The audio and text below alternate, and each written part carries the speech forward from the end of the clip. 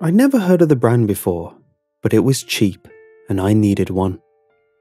I assumed they were all made in the same Chinese factory anyway. It was shrink wrapped to protect the screen and had no manual, but something about it appealed to me. It seemed different somehow. I told the staff I wanted it. They put it on a rolling cart and carried it out to my car. Unfortunately, I didn't notice the strange inputs on the back until I got home. Then I understood why it was so cheap compared to the others they had with the same screen size.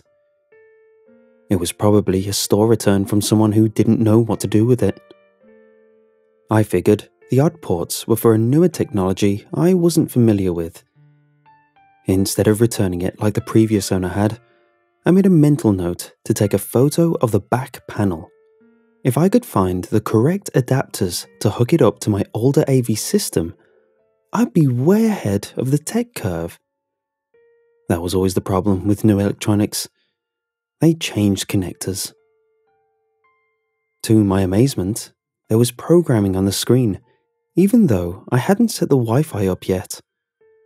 I wasn't sure if I was pulling in local on air free broadcasts or if it had somehow set itself up automatically. If so, that was a bit alarming. I hadn't entered my password or login credentials. I just pressed the power button and it was instantly up and running. Doing the setup is always a pain on new devices, so it was an unexpected perk to avoid the headache. But I was still freaked out that it could do all that without my help. Did the new TV communicate with my modem and router to bypass the security protocols? If so, how did my internet equipment know the monitor was okay to communicate with? My head swam with crazy theories. Perhaps it was so advanced that all of my devices were already in full communication when I carried it into the house. If my internet firewall recognized the phone in my pocket as me, it might have sensed it was okay to trust the new device since I brought it in. Amazing. I didn't have much time to dwell on it though. The programming on every channel was beyond strange. It was like nothing I'd ever seen. It certainly wasn't local public broadcasts, that much was for certain. While flipping through the myriad of choices, I failed to find anything even remotely familiar or recognizable. I stopped trying to explain where the bizarre content came from anymore. That was irrelevant. The disturbing visuals on the screen continued to come, and they filled me with a deepening sense of dread which I couldn't shake. It was as hypnotizing as it was mortifying. For lack of a better term, I was glued to a consuming parade of personal train wrecks and humanitarian catastrophes. The footage on every channel was like the faces of death, non stop reality programming. The gritty visuals were painful to watch, yet I couldn't force myself to avert my eyes. Even when I mustered the strength to turn the channel, it was just more of the same grisly violence and carnal gore.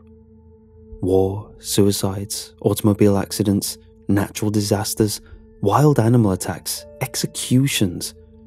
It was all there to witness in vivid, blood red colour. It was an ugly collection of concentrated pain. There weren't any commercials or station breaks.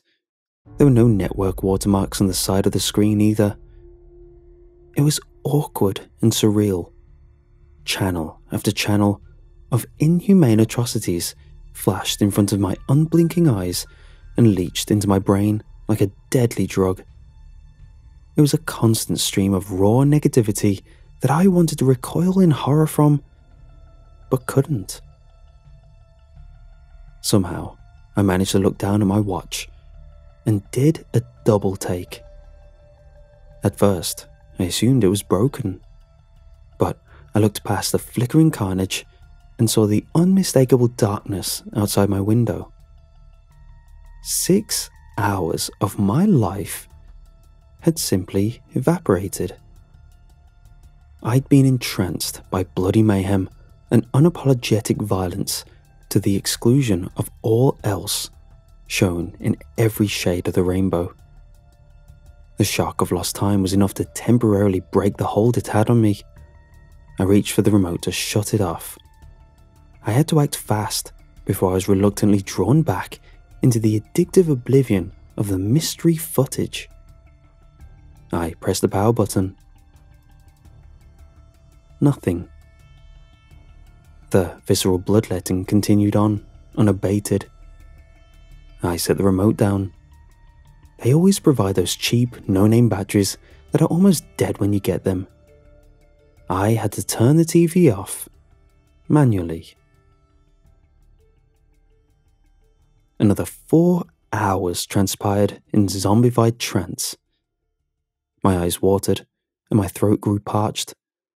I'd witnessed more evil and unnatural death that a person should see in 20 jaded lifetimes. I leaned forward and pressed the physical button on the front bezel. It, too, failed to shut off the unit. Part of me didn't care at all. I didn't mind if I never ate again, or if I watched it all day and lost my job. I was transfixed on the eternal glow of the 50 inch screen in front of me, with an unknown broadcast source. With the remote and manual button not working, I struggled to get up and unplug it from the wall. It wasn't easy to tear myself away from it, but I felt as if the constant stream of dark atrocities was physically draining me of life. To my dismay, the plug wouldn't come out of the socket. A closer inspection of the receptacle and power cord revealed they had melted into an organic looking solid connection. Stranger than that, all of my HDMI and AV cables were also joined with the unknown ports at the back of the unit. It was like vines genetically spliced to their mates. I couldn't begin to explain the unnatural technology fusion that had occurred, but my new flat panel didn't want to be disconnected. That much was obvious. It was some kind of life form, and it was feeding off my bewitched attention.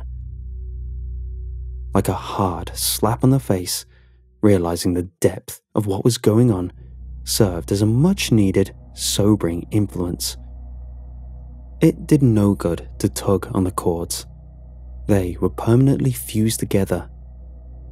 Knowing that all living creatures have defense mechanisms in place to protect them from harm, I didn't waste time trying to sever the cords or cables with a knife or scissors. That would probably result in some serious retaliation on its part. I had no idea what it could or couldn't do, but I wasn't taking any unnecessary chances. It had already managed to hypnotize me for 12 hours straight while I neither ate, drank, or slept. It had a deeply powerful sense of attraction. I went to do an on I went to do an internet search about it. I figured there would be others who experienced this dark phenomenon.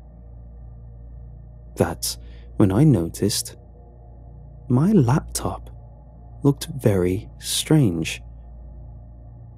There was something odd about it which I couldn't place. It looked shinier than before. As a matter of fact, it looked newer than new. It positively glowed on my desk.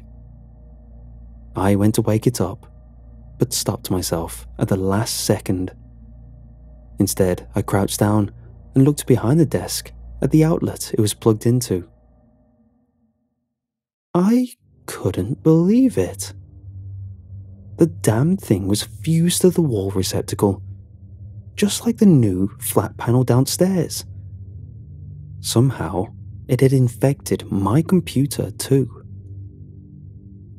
I raced upstairs to inspect the bedroom TV. It was permanently fused together, and the screen displayed the same cavalcade of depressing carnage. All throughout my house, every piece of electronics and appliances I owned was physically joined to a power source. Even the toaster was connected. I had an old tube TV in the basement.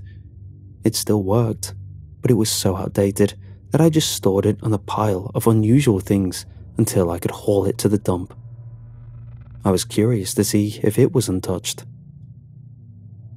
On the wall, there was a foreign electrical tether extended from a nearby outlet and stretched across the floor like an ambitious vine. It slowly snaked its way toward the old TV to complete the circuit. As soon as the umbilicus could reach the power cord, it would be fused too. To say I was in a crisis would be an understatement. Some creepy alien entity was slowly taking over my home. I'd brought it inside, just like an electronic Trojan horse. The unit at the salvage store was basically just a disguised seed. Like a fool, I carried it home and planted it. I wanted to call the store to warn them or summon the police to witness the creepy invasion I had triggered. But even my home phone was fused to the jack. My cell was almost dead too, but I couldn't very well plug it up to recharge it. I tossed it down in disgust and grabbed my car keys. I had to get out of the house before the TV, stereo, or my computer lured me back to the zombified trance I'd narrowly detached from. Predictably, my escape was interrupted. In the hallway, by my front door, was the main household fuse panel. Its door was wide open. Sticking out of it was a large 220 volt electrical line that certainly didn't exist before. I tried to imagine what the electrical entity was trying to merge with now. The dryer was in another part of the house, and I couldn't think of anything else that used a power line that thick. Then, the chilling reality dawned on me. This unnatural tether was intended to fuse with me. I backed up slowly and sought another escape route out of the house. In desperation, I ended up climbing out of a window. At that point, I was running on pure instinct I didn't even think of all the electrical lines in my car. I just got in and turned the key. My doors locked on me, and the radio started blaring. It started playing the most caustic, malevolent music I'd ever heard. I tried to open the door, but the handle wouldn't work, and my seatbelt had me fully restrained. My mind fought, but the music started drawing me in. The vicious pattern of the rhythms and the blast beats started to be more appealing. With each passing moment, I resisted less and was starting to enjoy the sonic brutality. Just like the deadly influx of carbon monoxide into the bloodstream, I was rapidly being taken over by the influence of it. Every passing moment made it exponentially harder to fight. In a final act of resistance, I shouted above the din of the death metal and reached for my pocket knife. I sliced the seatbelt strap and managed to get out of it. The heat came on inside the car. It was already a hot summer day, and with the windows rolled up, the inside temperature was well over 100 degrees Fahrenheit. Sweat boiled out of my pores and down my face. The unknown electrical based organism was punishing me for resisting it. The window switch wouldn't work either, but I had another emergency solution. I jammed my knife savagely into the canvas of the convertible top and sliced hard. I managed to escape my would be tomb via internal caesarean section. I don't know how far the infection has spread beyond my house, but I've managed to find an uninfected computer in an internet cafe downtown. I must hurry and detail the horrors of this bizarre epidemic and warn the unsuspecting public before it's too late for all of us. I believe this horrific thing can be defeated, but the easiest way is just to avoid the infection in the first place. Be careful what you buy and plug into your home. Time is of the essence.